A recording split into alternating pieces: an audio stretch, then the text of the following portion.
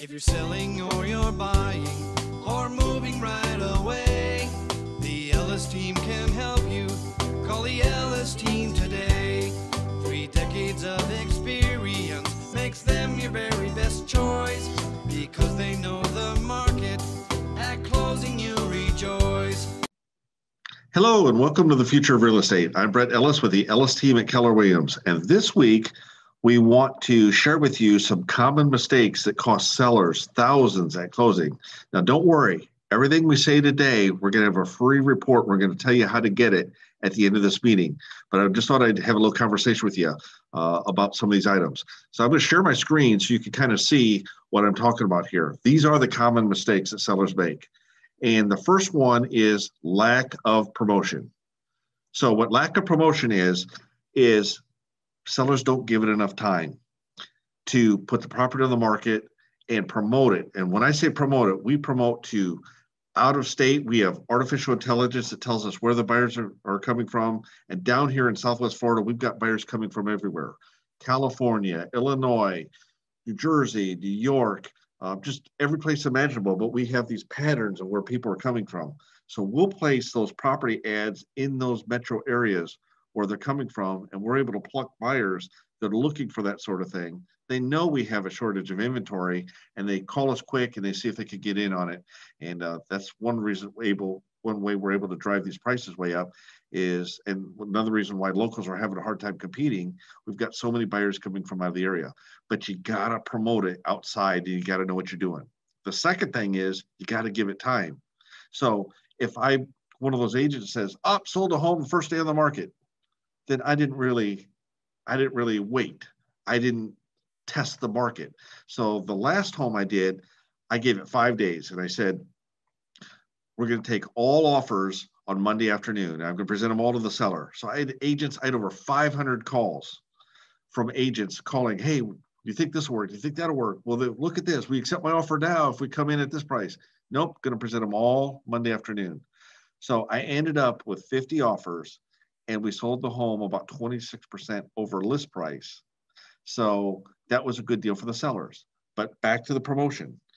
We marketed it all over the world and we let it simmer. We didn't take the, the first offer the first day. And believe me, almost all the offers were full price or better.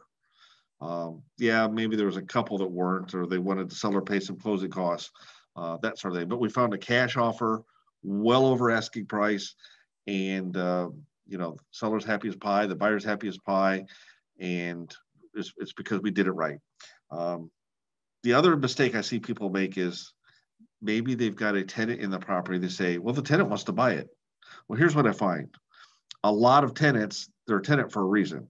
They either have bad credit or they want a deal. So if you give them a deal, you're not maximizing out top dollar for you.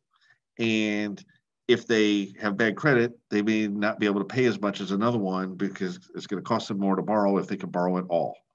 So, uh, what I tell people is this we'll give the tenant a chance to bid on it just like everybody else, but we're going to show it. We're going to put it out there. And if they're the best bidder, fine. But if not, you've just undersold your property, given away all your equity to a tenant. So, um, the other thing is the strongest offer may not be the highest offer. And what I mean by that is this let's say I have a hypothetical, let's take a $500,000 listing, okay? Uh, $500,000 home.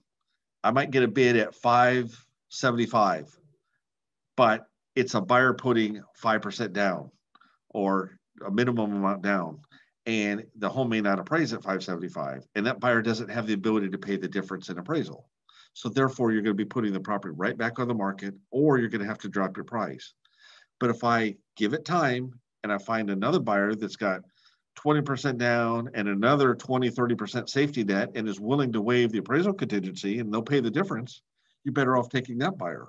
Better yet, find a cash buyer, you know, don't don't need appraisal at all.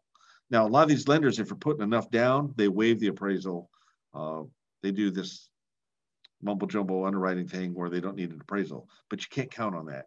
And you can't count on who the appraiser is going to be and if it's going to be a good appraisal. I'm seeing agents fighting appraisals all the time.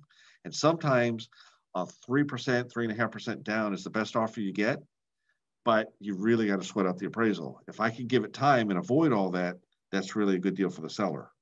Um, appraisal is another thing that's in this report. I won't go into too much more about that. The as is contract. We're seeing about 40 to 50% of our offers down here get canceled because when you use an as is contract, it's not what you think it is. It the as is tells the buyer you're buying it as is. Of course, they all come back with, I'll buy it but I want these six things fixed or I won't buy it because they have an automatic right to back out for any reason. They don't even have to do an inspection, they can back out.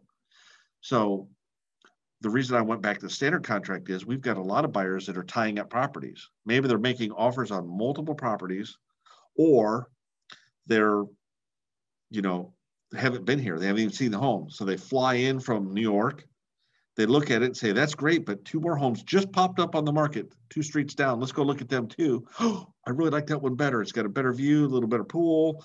Um, the outdoor kitchen's a little better, or the price is better, something, and then they bail on that deal. So you've been tied up for 10 days to two weeks and you lose your deal because you used it as his contract.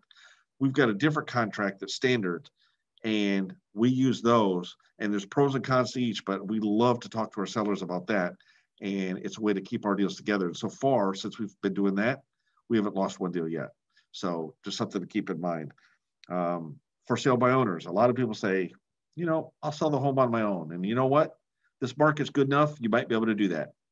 But you're probably not maximizing your value. So I charge a certain percentage rate. But if I get X percent above what I charged, did I really cost anything? No, I was free. In fact, I paid you to do all the work because you know, I'm able to expose your home to more buyers. We know what we're doing. We know what offers to take. We know what offers to stay away from in terms of financing, appraisal issues, inspection, insurance, all kind of things. Um, so a lot, lot of things to keep in mind. Having the wisdom of a realtor makes a big difference. Um, a lot of people think, hey, if I just list it in MLS, doesn't matter what realtor I use, or I can even use a discount broker. It absolutely matters what realtor you use. In this market, choosing the wrong realtor could cost you thousands or tens of thousands of dollars. I've seen it firsthand. I've had a lot of people call me up and say, Oh my goodness, I just sold my home.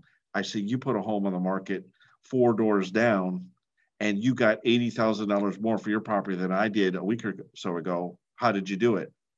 And I tell them, Well, I've got strategies. We've been doing this over 30 years. Nobody markets the way we do in Lee County. It matters and but people think, hey, and it's natural to think this. The more I pay you, the less money in my pocket. When the reality is, doesn't matter what you pay me, it's how much I bring you.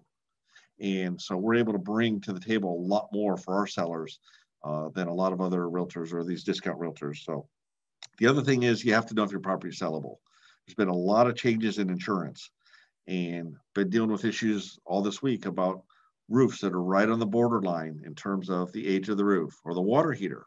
People don't realize it, but insurance companies are canceling policies over the age of the water heater. So you have to know what these are. And then you have to be proactive so you keep your deals together.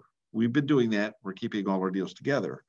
But inexperienced realtors uh, or ones that don't have, maybe they're new or maybe they just only sell two, three, four a year, they don't, they're not up on all these regulations. It's expensive for them to get their education on your listing. You'll find out, and it'll cost you tens of thousands of dollars. And you'll realize, hey, I maybe saved 800 bucks on the commission with these guys, but they cost me $80,000. So um, it's kind of expensive mistake to make. Uh, I've got a lot more points.